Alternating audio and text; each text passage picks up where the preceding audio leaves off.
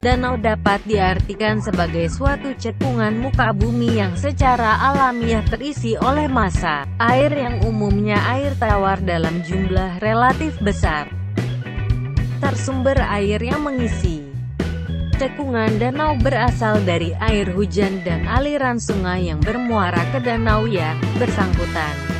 Pada beberapa wilayah yang memiliki tingkat penguapan sangat tinggi, kita jumpai danau ya, airnya memiliki kadar garam atau salinitas tinggi.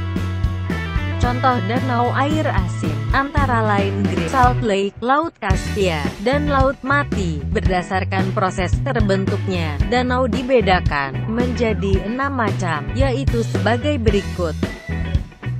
1. Danau tektonik, yaitu danau yang terjadi akibat adanya proses tektonik yang mengakibatkan dislokasi lapisan batuan, seperti lipatan, patahan, dan penurunan atau pemerosotan.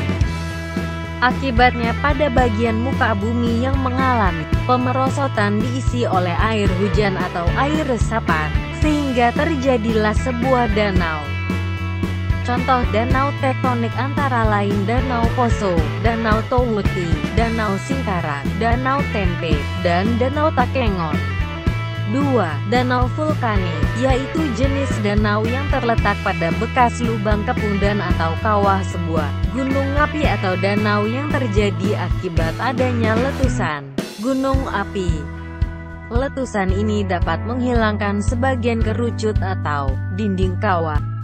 Contoh danau vulkanik ialah Danau Rinjani, Danau Telaga Warna, Danau Maninjau dan Danau Kerinci di Sumatera, Danau Poso dan Danau Matana di Sulawesi, Danau Keluh di Jawa, dan Danau Kalimutu di Flores.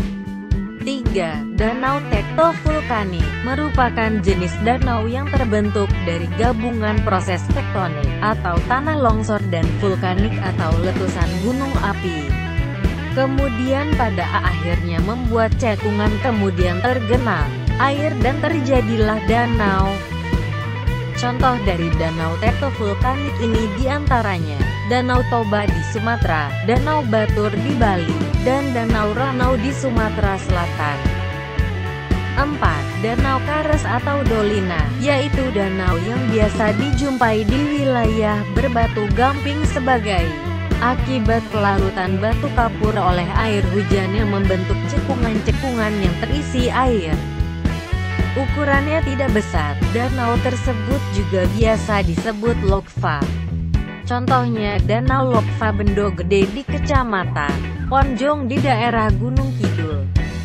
5. Danau buatan atau sering disebut bendungan atau waduk, yaitu danau hasil buatan manusia. Contoh danau buatan antara lain Waduk Jatiluhur, Waduk Saguling, Waduk Cirata di Jawa Barat. Waduk Sempot, Waduk Cacaban di Jawa Tengah, serta Waduk Karangkates dan Waduk Selorejo di Jawa Timur. 6. Danau glasial, yaitu jenis danau yang terbentuk akibat erosi oleh gletser. Jenis danau glasial ini terjadi di daerah yang pernah ditimbuni es dalam waktu yang lama seperti di Kanada Utara, Rusia Utara, dan Eropa Utara. Contoh danau glasial antara lain Danau Ontario, The Great Lake, Danau Mackenzie, Danau Michigan, dan Danau Saint Laurent di sekitar Amerika Serikat dan Kanada.